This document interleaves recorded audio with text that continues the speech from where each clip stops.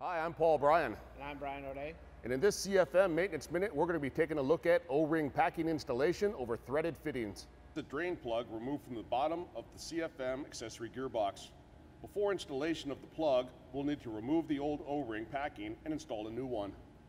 All right, I have a uh, threaded fitting. This is the drain plug from a CFM accessory gearbox. All right, uh, uh, before I reinstall this drain plug, I'm required to uh, remove and discard this uh, O-ring packing and of course reinstall another one. And as I do that, following the aircraft maintenance manual procedures and standard practices, I'm going to use a non-metallic tool to remove the O-ring so I don't damage the uh, threaded uh, surface or the seating surface of this component.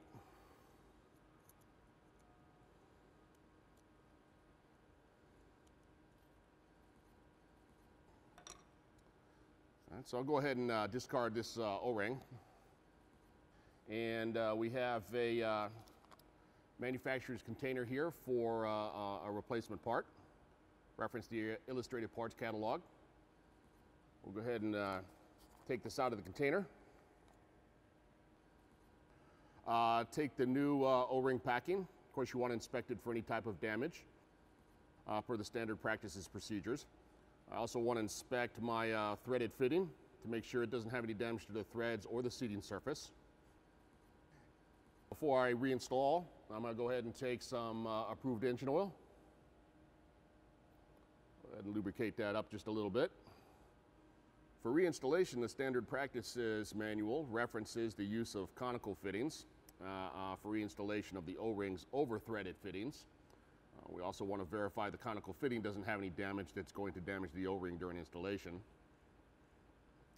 That's done. We just install that over the top of the threaded fitting. Take the lubricated O-ring, slide it down over the conical fitting onto the component part. Now we're ready for reinstallation. We'll go ahead and reinstall the drain plug now.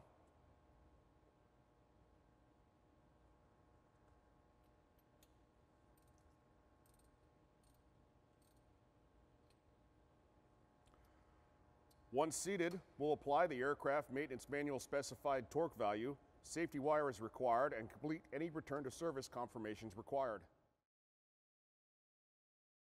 That completes this CFM Maintenance Minute on O-ring packing installation over threaded fittings for all you do to support our fleet. Thank you.